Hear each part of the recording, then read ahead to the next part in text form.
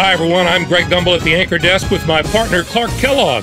Coming up on College Hoops Tonight, we'll break down all the big names of the week, as well as give you a preview of some of the huge matchups coming up around the nation in the next few days. But let's start off with who we selected for our NCAA Player of the Week.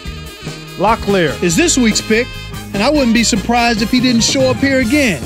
He has just delivered all season long and is making his case for Player of the Year. There were some fantastic matchups this past week, so let's take a closer look at them in our Games of the Week. We were treated to a matchup between two teams in the top 25. Stanford dismantled Oregon. It was a real treat to see these teams both come to play in what turned out to be a fantastic game. They showed us why they deserved their spots in the top 25. This was an entertaining and fun game to watch. Bowen was not going to be denied. His 29 points led all scorers. They needed an effort like that to get this win, he saw all sorts of defensive looks, but no matter what they threw at him, he handled it and handled it well. Although this next contest seemed predictable enough, one of the best teams in the country suffered a severe shock to the system. Duke knocked off North Carolina. This came right out of the blue, Greg. What a wild and crazy game. North Carolina was sitting pretty as a top five team, but you've got to have some doubts about them after a loss like this.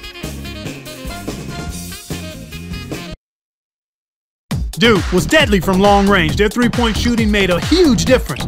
I don't know if they came into this game with a plan to attack from long range, but that's definitely the way it turned out. If you can consistently knock down big threes, it really wears down an opponent mentally.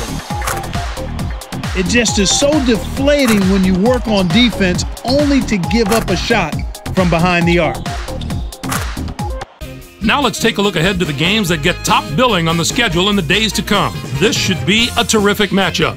Both these teams are fighting to improve their position among the nation's elite teams, and they're going to have to go through each other to do it. The North Carolina Tar Heels like to play a high-paced, up and down the court kind of game, and that's going to make them a very difficult matchup. They'll drive to the hoop in transition or pull up and splash the three, and I think they'll run all the way to a win.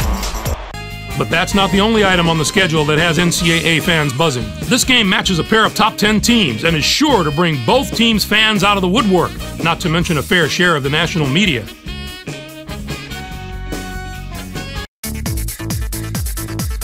Providence would be my pick here. They are so strong on the inside that I believe they'll be just too tough to match up with. It would really surprise me if that talent discrepancy on the inside doesn't tell the tale of this game. That'll do it for us here in the studio. For my partner, Clark Kellogg, I'm Greg Gumbel. Thanks for watching College Hoops Tonight, brought to you by State Farm, the number one auto insurer. Enjoy the exciting week of college